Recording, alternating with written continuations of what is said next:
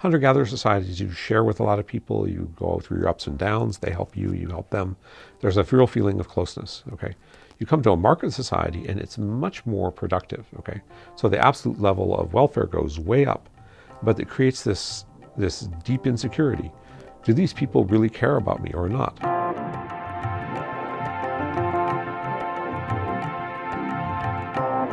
My name is John Tooby. I'm uh, co-director of the Center for Evolutionary Psychology at uh, University of California, Santa Barbara, uh, with my wife and lifelong collaborator, Leda Cosmides.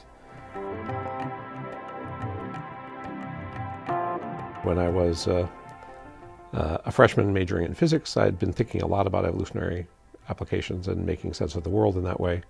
And I thought, well, I'll go check out what they're doing in psychology. And to my astonishment, then, which is 1970, and I'm still astonished 40 years later, uh, although there's been some changes, there was almost no use of the really powerful idea that uh, the only force that organizes any biological system uh, functionally is natural selection. I thought, well, I know as much as they do because they don't know anything. Right before my sophomore year, I discovered um, that there was a whole field of evolution and behavior evolutionary biologists applying their theories to understanding animal behavior. And I got very excited because it promised to not just say how it is that animals do what they do, but why they do what they do and why humans do what they do. What we thought was, that was missing from the early um, approaches to sociobiology was this level of description of, well, what's the, the architecture of the human mind? What are the programs that we all have by virtue of being human beings? And so a lot of our early careers we spent trying to figure out, well, what do we mean by that and how do you study it and, and so forth. And so uh, we spent a lot of years thinking about that and working with colleagues on what are the foundations of evolutionary psychology. Initially, people were horrified at the idea of applying evolutionary thinking to the human mind. The first paper I ever wrote, uh, much to my surprise, took many years to get into a journal, not because the results were uninteresting, but because the journals were horrified at the idea that the hypotheses were derived from an evolutionary theory. If I had had the same hypothesis, but I'd been playing pinball and it had just come to me as a hypothesis, that would have been okay. But the idea that, as I always thought scientists were supposed to, that you had a, a larger theory from which you derived testable hypotheses and then you tested them, that was what was objectionable when, you know, back in 1985. Max Planck talked about science progressing funeral by funeral, whereas it's not that people who had one set of opinions get convinced and change their minds, like the ideal would oh, have sometimes it. they do. Although it's rare and interesting and highly valued, uh, but uh, but much more commonly, uh, the younger people who don't have a stake are the people who adopt it and they grow up with the new way of thinking, and that's that's really happening. Evolutionary psychology is an approach to understanding the human mind in which you really take um, seriously the idea that our minds were shaped by natural selection and that they were designed to operate in an ancestral environment of, of hunter-gatherer life. Um, it's, a, it's a vanished way of life now, but where we lived in small social groups of, you know, maybe 50 to 200 people, um, many of whom were close kin. Um, and, uh, and the idea is that we're trying to understand what are the reliably developing species-typical programs um, that, are, that constitute human nature we have a friend and uh, mentor, Roger Shepard, who's a, one of the founders of cognitive science, and he uh, said that uh, perception is externally driven hallucination. All sorts of things that we think are matters of the external world are, in fact, uh, you know, these matrix programs playing in our heads and structuring the world for us. And there really is, of course, an external world, and that corresponds sometimes to some of these elements, but, but we're lost in this video game that we mistake for reality. Our experience of the visual world is, is highly constructed by programs that we have no conscious access to. That's common, eh, you, you'll learn that in any cognitive psychology course. Um, where evolutionary psychology differs is in the notion that we have, first of all, that you have many programs in your head, not just one big learning mechanism, but many different, many different learning mechanisms designed for learning about different aspects of the world. And um, and, and, that they, they structure even our social intuitions and our moral intuitions and our intuitions about how to behave with, how to cooperate and how to behave with other people. Um, that flies in the face of the main approach to the human mind for most of the last century, which is a standard social science model, the, mo- the model that we have a blank slate mind, and that all content in our heads comes from uh, experience from the world. The sort of new view with you know the human mind is full of active programs sifting information, spontaneously interacting, um, making decisions, making decisions, making inferences about what's true, finding ways to be individual and to discover ways of being valuable to others in indi- highly individual ways. It's a much more interesting and dynamic uh, sort of 21st century view of what it is to be a human.